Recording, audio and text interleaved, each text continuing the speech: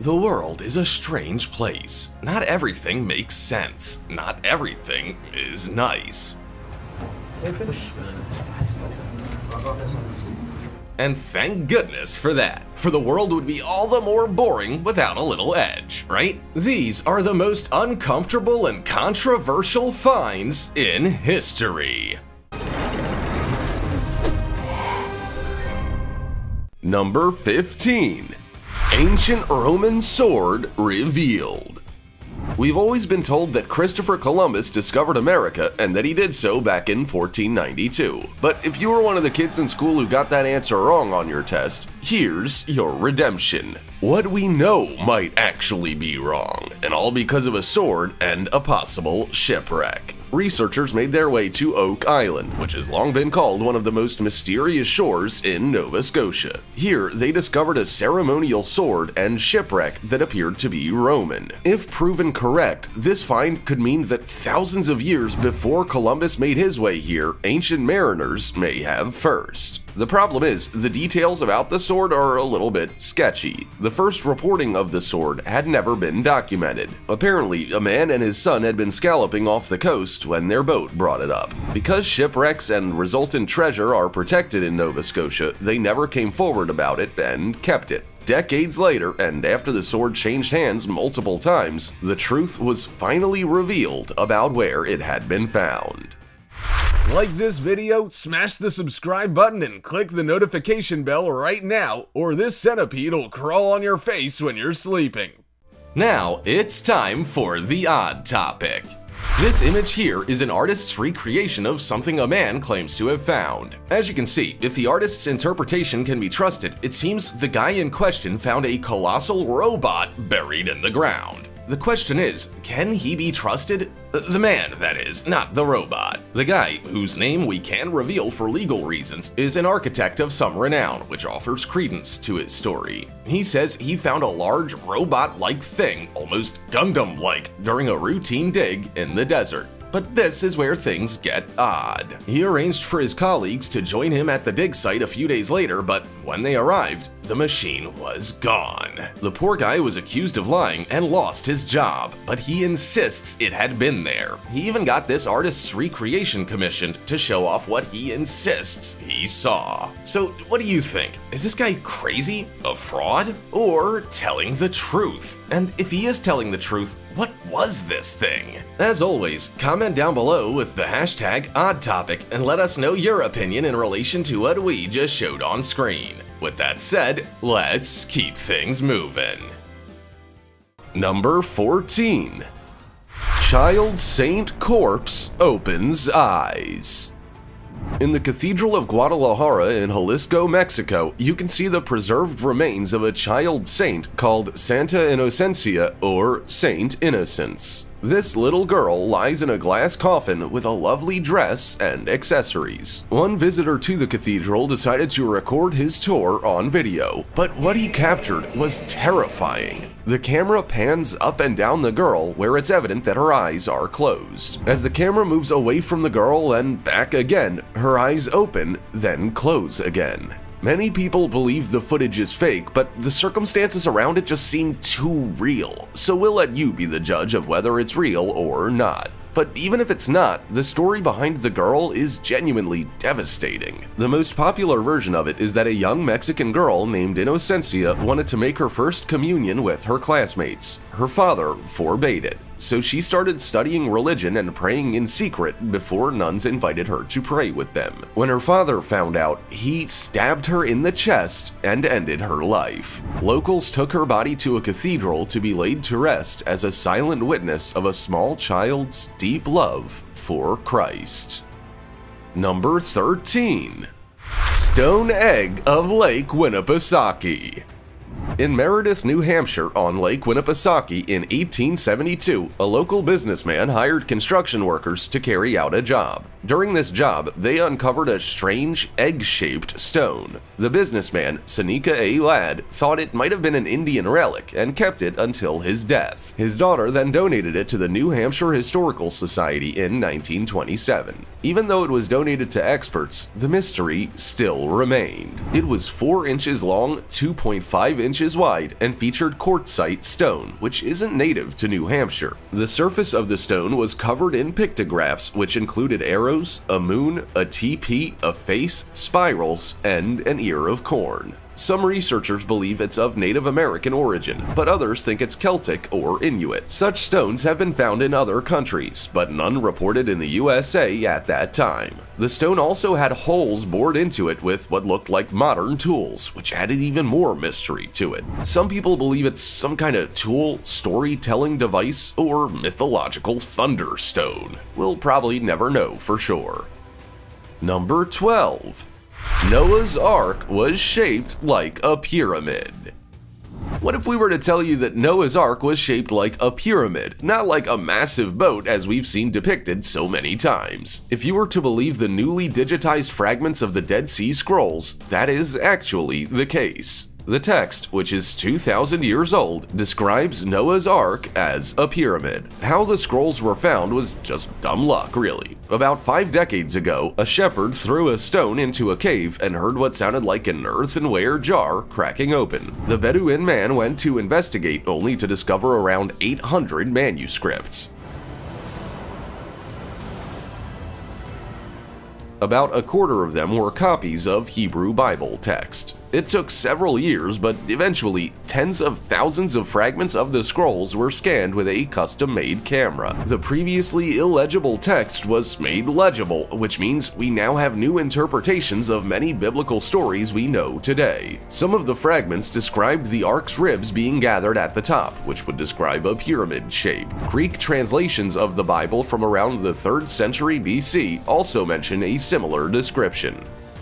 Number 11.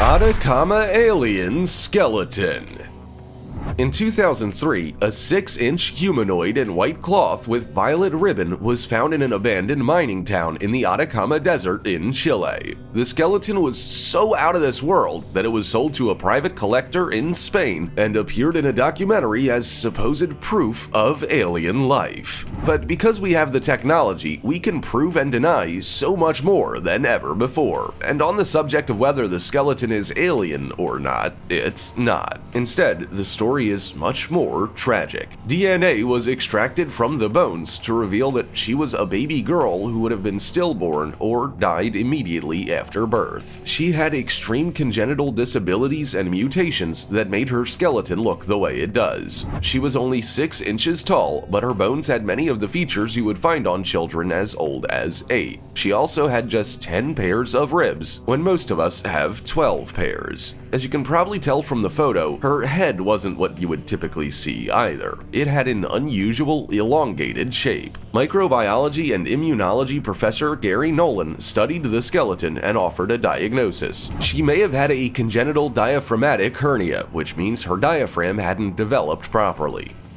Number 10. Bouvet Island Isolated, faraway islands sound like ideal holiday destinations, don't they? That might be true of Fiji, Hawaii, and even New Zealand, but definitely not of Bouvet Island. You would easily describe it as the most isolated island in the world. In fact, the nearest landmass is Antarctica's coast, 1,750 kilometers away. Even though that does sound pretty appealing, the weather is awful. There are storms 300 days of the year, and it's basically one big uninhabitable island with glaciers, gale force winds, and permanent sea fog. Being able to survive there comfortably would be next to impossible. Which brings us to our next point. How did a lifeboat end up there with no signs of life? For several decades, groups of people have been making their way to the island to study it and consider its suitability for a weather station. It was during one of those trips in the 1960s that the boat was discovered. It was found abandoned in a small lagoon with fur seals around it. It also appeared to be seaworthy, even if the water surrounding the island is too unforgiving for such a small boat. Near the boat lay a pair of oars, a buoyancy tank, pieces of wood, and a 44-gallon drum. To this day, no one actually knows where it came from, especially since the nearest trade route was over 1,000 miles away. Number 9. A controversial cave.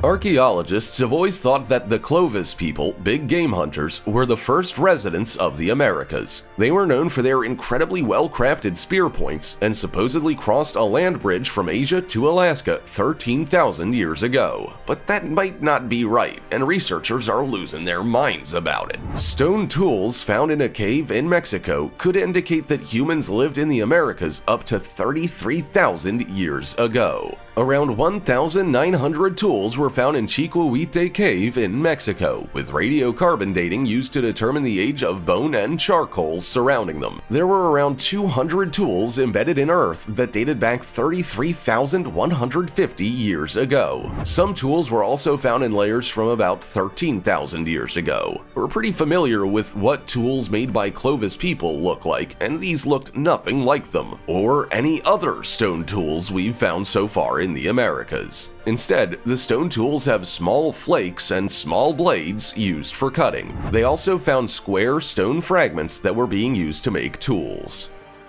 Number 8. Ancient Cup made with nanotechnology. Who knew that a simple Roman chalice from 1,600 years ago could be so advanced with technology to the point where it could help us further such technology today?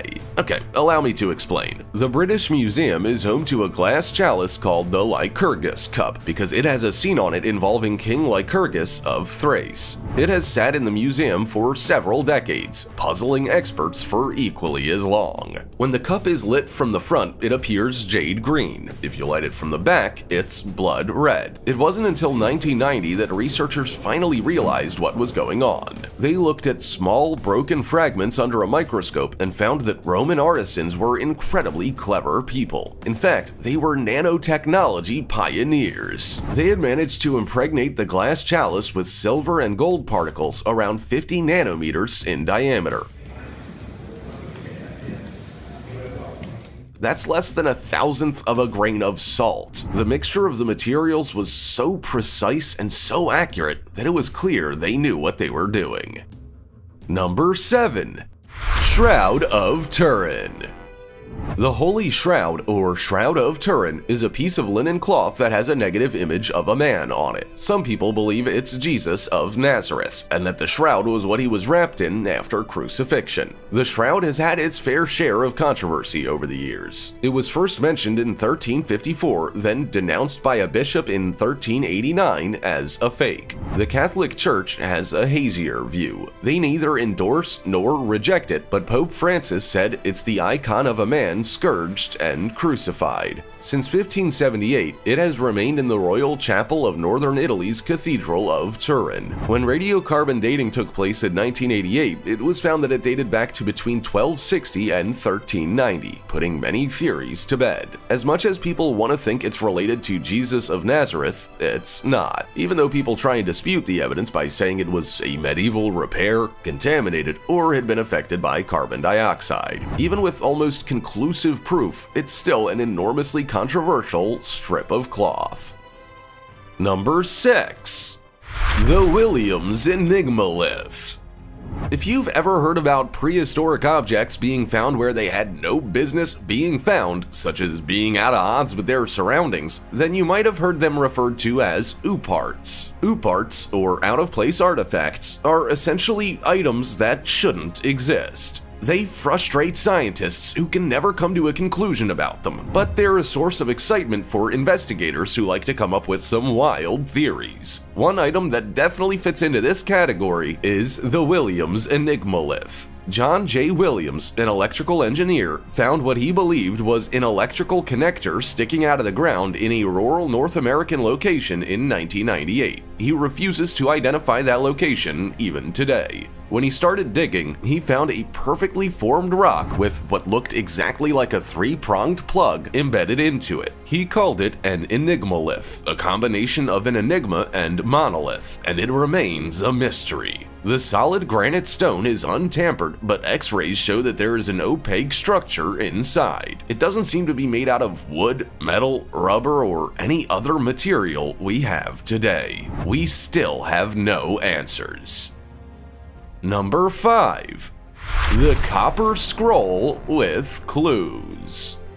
You may remember an earlier story about a whole bunch of scrolls being found that could change how we view Noah's Ark. Well, all of those scripts were written on papyrus or parchment, except for one. This one, found in Cave 3 near Khirbet Qumran, was written on metal, a mixture of copper with tin. The scroll was separated into two sections with the original single scroll measuring around 8 feet long. Instead of it featuring literary work like all the others, it listed 64 different places where gold and silver had been hidden or buried. All of the other scrolls were written in the form of literary Hebrew, but this one was closer to Mishnah Hebrew. So are we just gonna ignore the fact that the scroll was basically a treasure hunt? Of course not. Researchers believe the treasure could be from the Jewish temple, and most likely the Second Temple. However, there are so many other theories. Some people think it comes from the Qumran community or the First Temple, but we're not gonna find out because we've never found the treasure. Well, that's a disappointing ending. I'm sorry.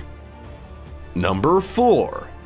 Fossilized Feces when you're an archaeologist, you probably dream of digging up the oldest ever piece of pottery or even a treasure chest filled with ancient jewels. But archaeologists from the York Archaeological Trust had to settle for poo, or to be more specific, Lloyd's Bank coprolite. That's a fancy name for dung if we ever did hear one. The large fossilized poo was found in the Viking settlement of Jorvik, now called York, in England. It was discovered in 1972 under what is now the York branch of Lloyd's Bank and is thought to be the largest example of fossilized human poo ever discovered. It was 8 inches long, 2 inches wide, and the most horrific looking poo you've probably ever laid eyes on. Some poor guy had to analyze it, and they discovered that whoever it belonged to ate mainly bread and meat. They also desperately needed a worming tablet because it contained several hundred parasitic eggs that pointed towards the poop's owner having intestinal worms. So how did the poo get fossilized? Well, it was preserved by moist and peaty soil along with timber, leather, and textiles. Number 3.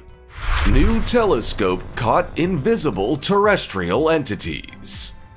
If this doesn't send shivers up your spine, I'll eat my hat. Dr. Ruggero Santilli developed a new kind of telescope that could observe antimatter light. With it, he was able to see entities in our terrestrial environment that are invisible to the human eye.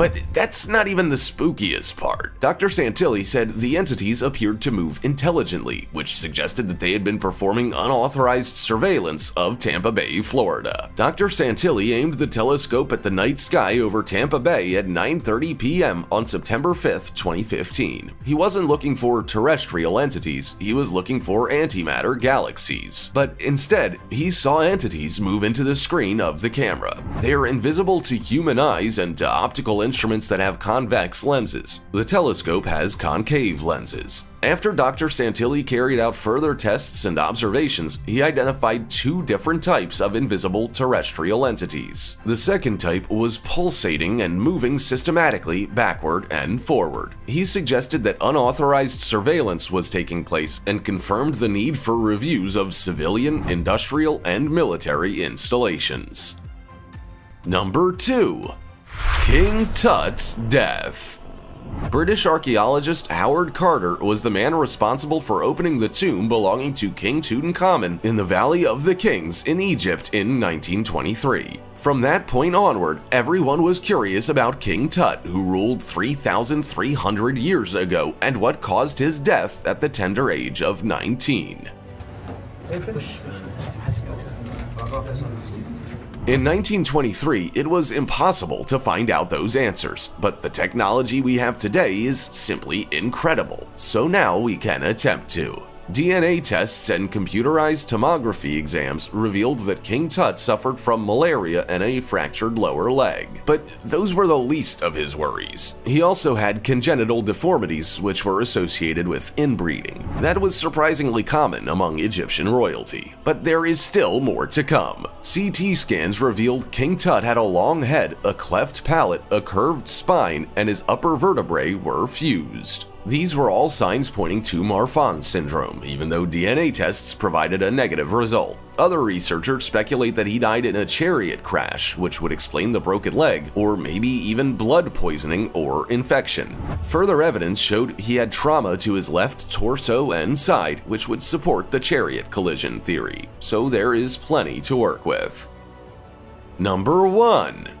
The Lost Civilization of Sanxingdui while repairing a sewage ditch 24 miles from Chengdu, a peasant in the Sichuan province of China uncovered jade and stone artifacts. That might not have seemed significant, and it wasn't really thought about again until 1986. Then, archaeologists discovered two pits containing Bronze Age treasures like jade, elephant tusks, and 8-foot-tall bronze sculptures. It was determined that they had come from a lost civilization called Sanxingdui, which is a walled city positioned on on the Minjiang River banks. Now, it's looking like the inhabitants of that city may have left willfully up to 3,000 years ago. Later, archaeologists found more remains of another city called Jinsha, which is also near Chengdu. Some of the artifacts looked similar to those found at Sanxingdui, so some scholars believe that people from Sanxingdui may have moved to Jinsha. But why? Why did everyone just up and leave? It might have been an earthquake. That earthquake could have caused a landslide that dammed the river high in the mountains that rerouted to Jinsha. Without a water supply, they may have decided to move to the city.